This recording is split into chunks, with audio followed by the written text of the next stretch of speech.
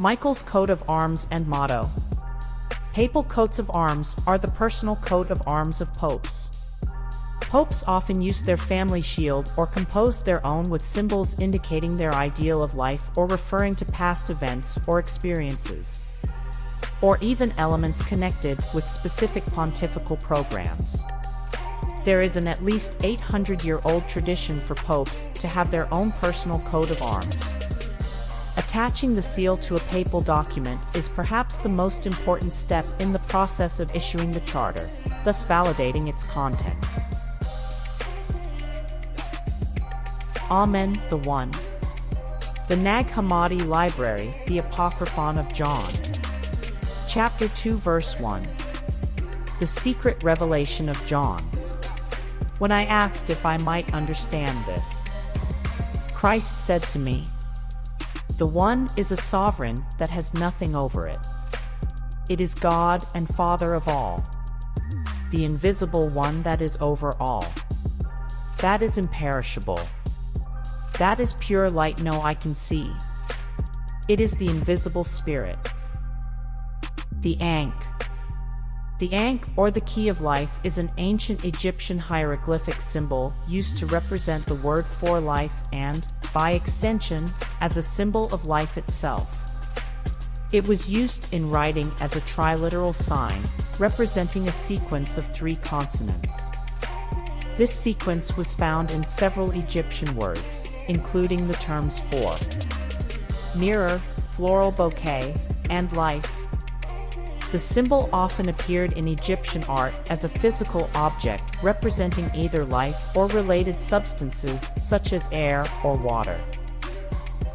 Acts 12 verse 7 And behold, an angel of the Lord stood by him, and a light shined in the cell. And he smote Peter on the side, and awoke him, saying, Rise up quickly. And his chains fell off from his hands. Amen, and the rays of the sun. Throughout the Bible, light has always been a symbol of holiness, goodness, knowledge, wisdom, grace, hope, and God's revelation. God is not just a light or a kind of light, it is light itself. All light comes from the One. At the beginning of time, Amen created the light to dispel the darkness and chaos over all the earth. In theology, Divine light, also called divine radiance or divine refulgence, is an aspect of divine presence perceived as light during a theophany or vision, or represented as such an allegory or metaphor.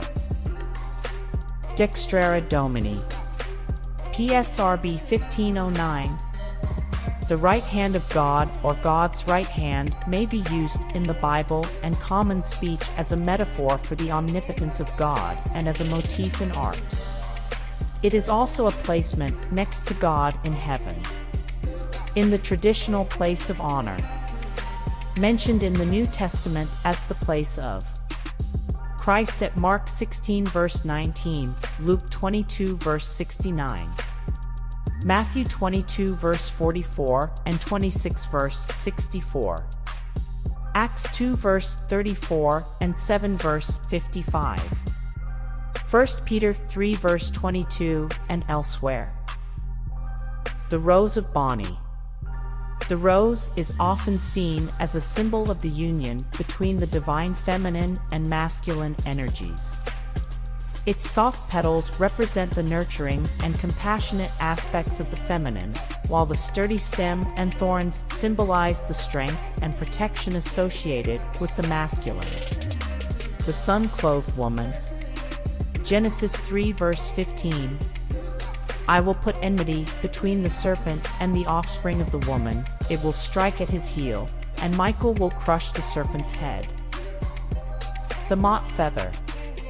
Ma'at comprised the ancient Egyptian concepts of truth, balance, order, harmony, law, morality and justice. Her feather was the measure that determined whether the souls of the departed would reach the paradise of the afterlife successfully. The color blue. Blue on the triangle and the Ouroboros represents both the sky and the sea and is associated with open spaces, freedom, intuition, imagination, inspiration, and sensitivity. Blue also represents meanings of depth, trust, loyalty, sincerity, wisdom, confidence, stability, faith, and intelligence. The color yellow. The yellow background is associated with the sun, our sub-logos. It symbolizes optimism, energy, joy, happiness, and friendship, and intellect. On the contrary, yellow can indicate jealousy, betrayal, illness, and danger. The equilateral triangle. The triangle is a symbol of the Holy Trinity. God the Father, God the Son, and God the Holy Spirit are no longer represented in human form or as a dove, but by this geometrical figure. It also represent past, present, and future, mind, body, and spirit as one. What does the circle and triangle symbol represent? The remedy to addiction and alcoholism is represented by the circle and triangle. The pschent. The pschent was the double crown worn by rulers in ancient Egypt. The ancient Egyptians generally referred to it as Sekhemti, the two powerful ones. It combined the white Hedjet crown of Upper Egypt and the red Deshret crown of Lower Egypt. Among the deities sometimes depicted wearing the double crown are Horus and Atum or Ra, both representing the pharaoh or having a special relationship to the pharaoh. 1. A single unit being or amounting to a single unit or individual or entire thing, item, or object rather than two or more. A single, one woman, one nation, one piece of cake. Being a person, thing, or individual instance or member of a number, kind, group, or category indicated, one member of the party. Is the all meaning whole, entire, total, all mean including everything or everyone without exception. The Hebrew word kol translates to three different terms in in English, all of, each, the entire. The Ouroboros. An ancient symbol depicting a serpent or dragon eating its own tail. The Ouroboros often symbolize self-reflexivity or cyclicality, especially in the sense of something constantly recreating itself, the eternal return. The Ouroboros appears elsewhere in Egyptian sources, where, like many Egyptian serpent deities, it represents the formless disorder that surrounds the orderly world and is involved in that world's periodic renewal. The motto, One is the All. A motto is a sentence or phrase expressing a belief or purpose, or the general motivation or intention of an individual, family, social group, or organization. Mottos are usually found predominantly in written form and may stem from long traditions of social foundations or from significant events, such as a civil war or a revolution.